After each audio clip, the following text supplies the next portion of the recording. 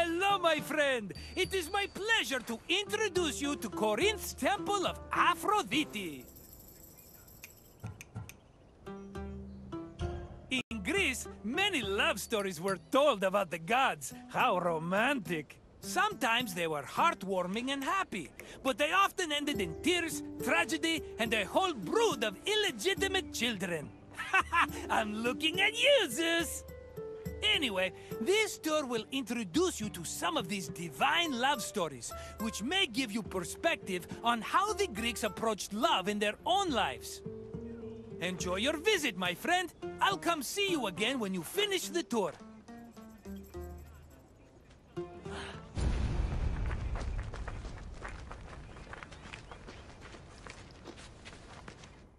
Much like Athens, Corinth had its own acropolis, called the Acrocorinth.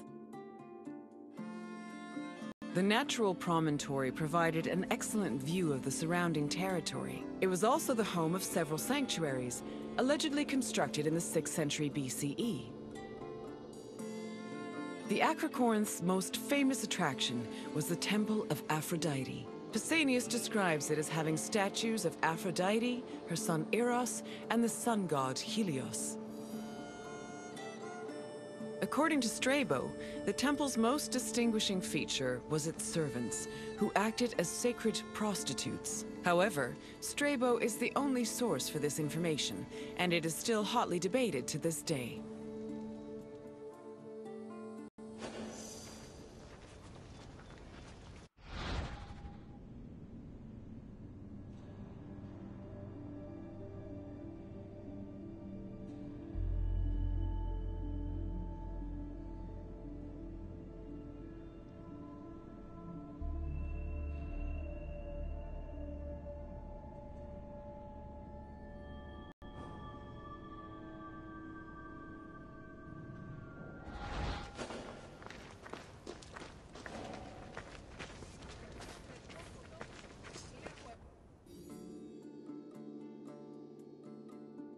Love played a large role in countless mythological stories. Zeus himself was not immune to the feeling, and fell for both mortals and other deities.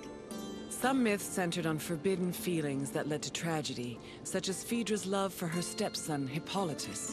While marriage was prominent in mythology, it was usually presented as problematic. For example, Aphrodite frequently cheated on her husband Hephaestus, and Medea's resentment against her ex-husband Jason eventually drove her mad enough to murder her children.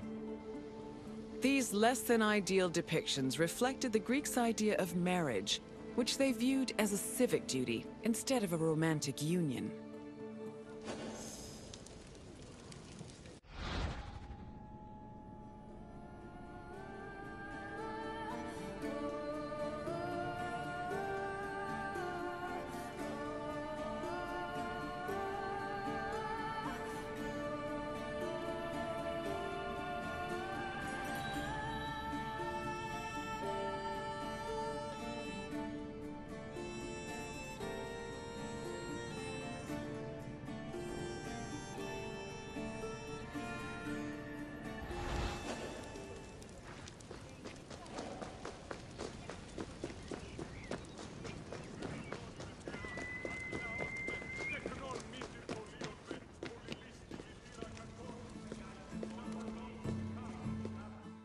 The goddess Aphrodite was one of the mightiest Olympians and was typically associated with love, beauty, and sex. She was worshipped all across the ancient Mediterranean by men and women, both young and old. Her origins differ depending on the version of the story.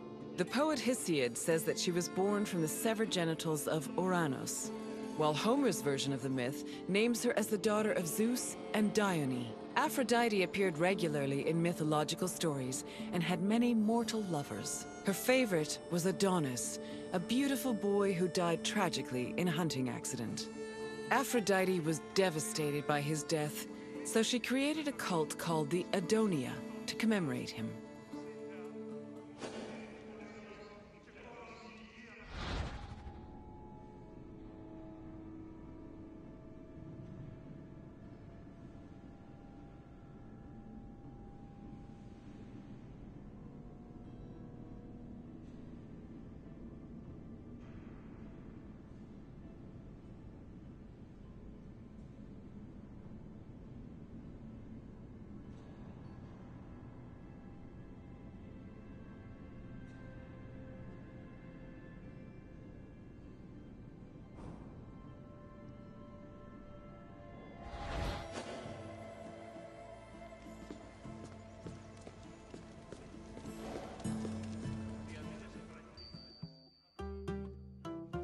My friend, good to see you again. I bet you were surprised by some of the stories you heard. For a bunch of immortal beings, the gods certainly were saucy, eh? Tell me if there's anything else I can do for you. Is that so, my friend? Then let's get started. Which poet said that Aphrodite was the daughter of Zeus and Dione?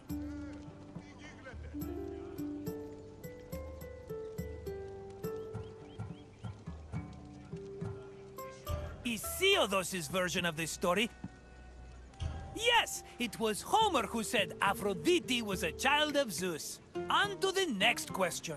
Medea was married to which legendary hero?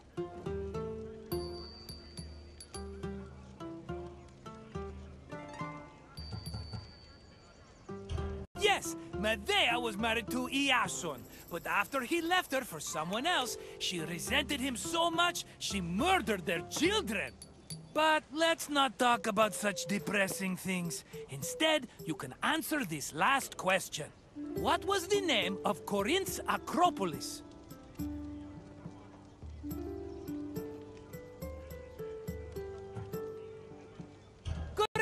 The Acrocorinth has been home to many sanctuaries, as well as the famous Temple of Aphrodite.